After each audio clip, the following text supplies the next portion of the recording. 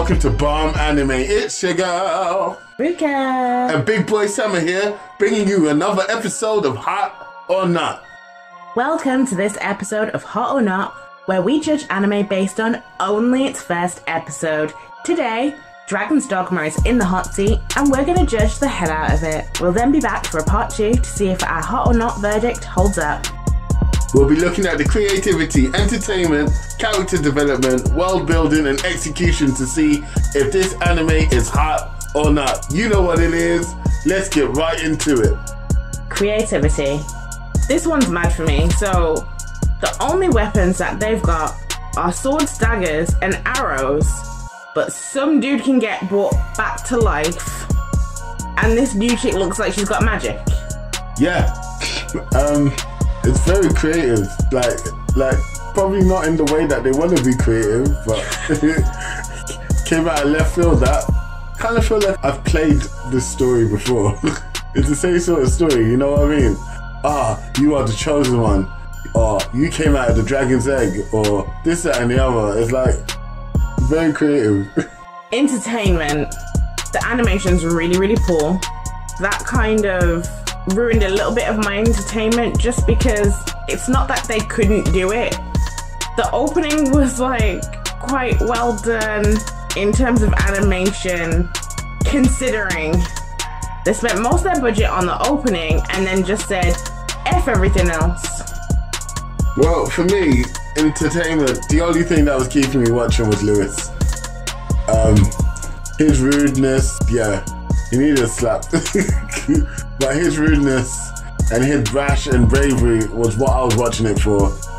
Olivia was a bit flat. Ethan was a bit one dimensional. Lewis, Lewis was the only guy who had a bit of life for him, and I kind of wanted to know what was going on there.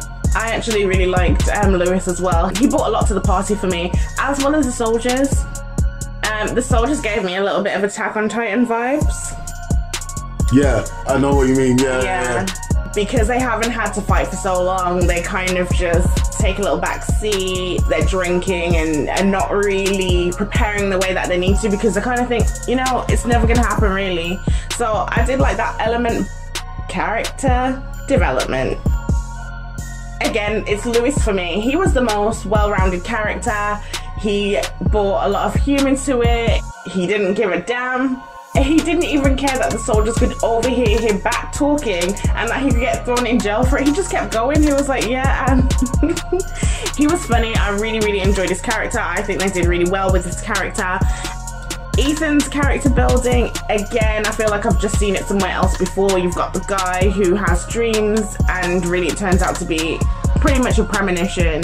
There's nothing really about his character that felt solid. There was nothing intrinsic to him that I could say, oh yeah, I like this character. And and Olivia as well. Felt like she was just there to be the mother figure for Lewis and to also bring up a little bit of Ethan's backstory where he's lost his parents. And I just didn't feel like there was anything else, but I really did like Lewis's character. Ruka, what do you want me to say? Everything you said is correct. Except for Olivia's baby. That had bare character, fam. Had more character than Olivia and more character than Ethan for me, fam. Because, like, on a level, Lewis all the way. I was Team Lewis, even right up until the point where he got eaten. I knew he was gonna get eaten. Know that way as well. You literally called it, and I was like, ah, they can't do that. That's too predictable. Yep, there it is. World building. The world was a normal primitive world where they have villages. There's no real transportation apart from, I'm guessing, horses. Everyone, if you don't hunt, you don't eat so you had people fishing, and then obviously you saw Ethan being the only person to not fish. He hunts because something happened on the water. I'm guessing that's how he lost his parents, and he doesn't want to go. I've, I've got to guess and infer to to drag some life into the character. The world was done quite well. It was believable that it was a village, that it was set sometime before technology. Big Boi Sama? Nah, fam, don't call me, bro. Look, I've never played Dungeons and Dragons. but I know a little bit about the game, and I, I've kind of always wanted to play, but that's a side note. Let me catch some dungeon master and tell them to go to these developers and teach them how to build the world. Because unfortunately, this was trash. This was the most basic generic world that you could possibly come up with. A medieval Dungeons and Dragons vibe without any sort of uniqueness to it. The only unique thing that happened is that some dragon came in and said this village is trash. Let me burn it up. Do you get what I mean? Like, come off it, bro. World building? Hmm. I could not get past the fact that the soldiers have been preparing for generations. and all they have is arrows 100 years later. Why did the dragons even leave? They should have just wiped out everyone. You're telling me you've been working for 100 years to prepare for a specific event, which is a return of the dragons. And you didn't even know that their skin would be impenetrable to arrows. You didn't try to develop better technology. You know, plot execution. I don't know. I don't know what the plot is.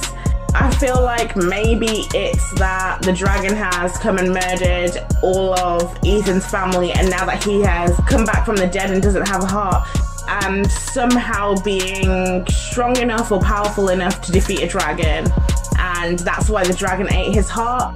Maybe the plot is not what we are seeing in the first episode, and we're going to see more development after this episode because we've just been introduced to a new character who is a pawn and is going to protect Ethan.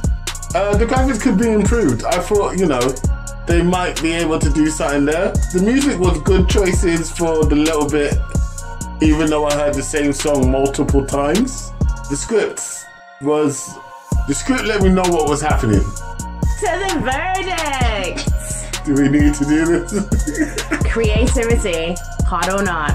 um, yeah, it's a not for me. I've heard this story before. I've heard this story many, many times, and I've heard this story better. I'm not going to waste your time. It's a not. Entertainment. Thanks, Ricky, for saying I'm wasting their time. Um, in terms of entertainment, it's actually hot for me. I want to know what happens next. So that's the only thing it's got going for it. It's not from me. It was not entertaining. Character development. Alright, guys. I've been clowning on this anime the whole time, but it's actually a hot for me. Only on a technical basis. I wanted to see a character be developed, and I did. I got it from the beginning to the end of the character, and that was Lewis. He was developed, and then he was ended perfectly. And if it wasn't for that, this wouldn't be a hot, Like it's a hot for me. Lewis saved the day. And this was also a hot for me. Based off of his character, he really carried this whole episode. It's a shame that we won't get to see his character more, but it's a hot based off of him. World building. No. Just no, it's a lot, it's a not. Not, not, not, not.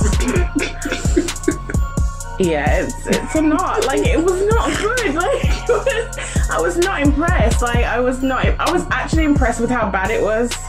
it was not good. It was not good. Like it wasn't. Plot execution. No. Your graphics are trash. Your music was okay but repetitive. And your script, oh my god, your script. How flat can you be? I mean, every single generic, basic, predictable thing that could happen in an episode like this happened. The only thing that shocked me was not the fact that Lewis got killed, because we saw it, but the fact Olivia got killed. How was that shocking? I've never seen a pregnant woman be killed like this before. That's the only thing. She was pregnant. That was what was shocking. He dreamt it in the beginning, like he, it was foreshadowing. I still did not see it happening. I was like, nah, they can't do that. Come on, she's pregnant, bro. This anime pulls no punches. I was like, yeah, you know what? That is it. But really and truly, come on. Is that your plot execution, bro? It's a not, fam. the plot execution was a not, and this is based on the dragon itself. The fact that the dragons have been gone for 100 years and nothing was told to us about how they actually left and why they actually left and why they felt that the dragons could possibly come back again and how everyone survived. Then the dragon just appears out of absolute nowhere, seemingly for no reason, over an extremely tiny village, which just made no sense. And then the dragon has intelligence, he can speak, and yet he chose to randomly burn up the village and only we, we only saw him eat like one person. There's like what is even the purpose of the dragon? I just don't get it. I don't if he has such intel why is he here? Why is he doing this and why did he decide to rip out the heart of Ethan? And he seemed to also understand that Ethan would be brought back because he told him, Oh, don't forget that if you stare into the abyss, the abyss stares back into you. Like, what a lame line as well. It was not impressive. Like, this was a not, and and the plot execution was the biggest not for me. Like, it just, I just was not happy with the way anything was done. Didn't like it, and I'm so sad that I'm gonna have to watch the rest of this anime. Look, are you blind? The plot execution was the worst thing for you. The anime was the worst thing for me. Look, I'm sitting here and I know I'm laughing and joking about how bad this anime is, but really and truly, Ruka's right. I don't want to put this up because I don't want to watch the rest. Told you not to do this to us. But You chose to do this to us both. but they had dragons, don't they? They had dragons. I've never seen an anime with dragons that I've actually enjoyed. I'm sorry. I've know- watched a few, and the only reason why I gave Burn the Witch a chance was because it's in the same universe as Bleach, and I liked Bleach. I know some of you guys don't like Bleach. Leave me alone. What? Yeah, some people really don't. I'm, Fam, I'm it's, feeling Bleach. it's one of the best shonens ever created, fam. I don't care if you don't like Bleach. Come on, no, I'm kidding. Come at me, bro. no, I really like Bleach, and I thought that I was gonna get something that showed me that they were connected, but I didn't get that in the first episode. Maybe it will come in later, and that's why I gave that a chance and why I was so excited. But I've watched other anime with dragons, and I've never enjoyed them. what about Rick and Morty? What? Stop it right now, you dragon. okay, okay. Look, guys. Okay, wait, wait, wait, wait, wait, wait, wait. Before you do the ending, guys, can you let me know some animes that have dragons in it that is actually good? Because I, I kind of need to redeem myself here because I failed. God, God, Ruka, you got this now. Uh, let us know what you think in the comments. Do you agree with us? And don't forget to like, subscribe, and share. Peace.